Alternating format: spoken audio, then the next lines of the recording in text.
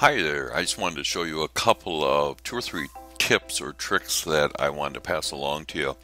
I just taught a um, Photoshop CS6 class and we did a few commands of working with the new crop tool and I showed the students some commands to make a composite layer of everything that you have in your layers panel and it composited into a single layer. And there's kind of a four key shortcut that you have to do from the keyboard to do that. But I want to show you an automated way to do that, maybe to shorten it down to maybe one keystroke instead of holding it down like four keys. First of all, the first thing I want to show you here is I have a two layer document here. I have a type layer and I have of course my background layer here. Uh, I'm going to convert my background layer into a regular layer. I'm just going to double click on it. I'm just going to click OK. So now you see it's called layer 0. Now what I want to do is I actually would like to have a layer that's a combination of all my layers. That is, I want to have a single layer that has the text and the uh, jet on it. So what I would normally do, quote unquote normally, is I would go on a Mac, I would go Shift, Option, Command, and E. And on Windows, I would go uh, Shift, Control, Alt, E. Shift, Option, Command, E, or Shift, Control, Alt, E. And I ask the students to remember that by remember E for everything. So when I do that, I now have a composite layer over here in my layers menu. I still retain the capability to work on these other layers because it hasn't flattened those. It's just taken the um, visible layers and merged them into a sing single layer so I can continue to work with that. Now, I couldn't find a just a single shortcut to go ahead and do that.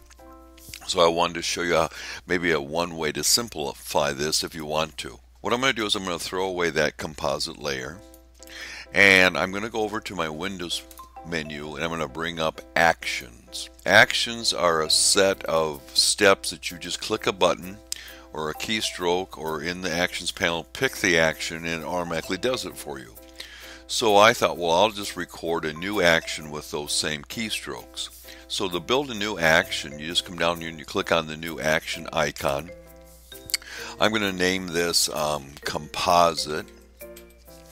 And I'm going to give it a uh, keyboard shortcut. I'm going to come down here and I'm going to give it a keyboard shortcut, we'll say of F1 and I'm going to have it so I have to hold down the shift key and hit F1 for this to work and I'm going to give it a color just so you can see it.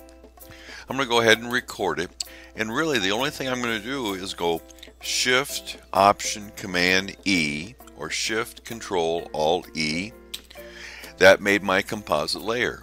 Now I'm going to come back to the actions panel here in the lower left I'm just going to click on to stop that recording. So now that's done. I mean that is all I had to do. So now if I want to make a composite of all the layers within this document, I can go Shift F1 and it's done.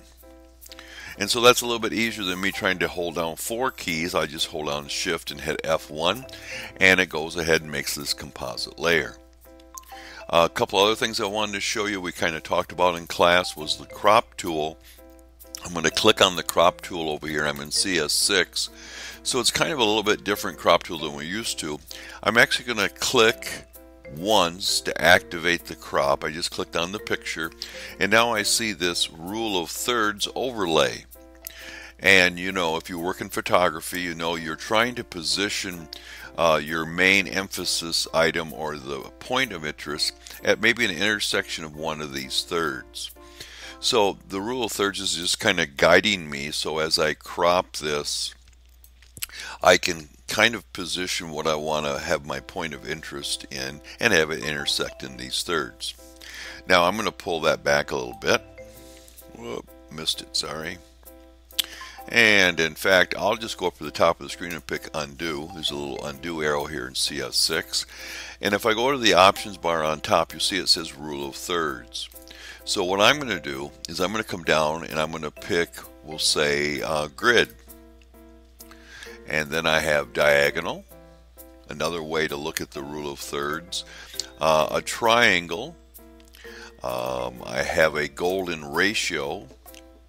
And I also have what I prefer to use most of the time is the golden spiral. And this spiral here spins out. And this is where I should put my item of point of interest right on that spiral if I can when I'm uh, cropping something. So I'll can do that kind of like that right there. Now I'm going to undo that.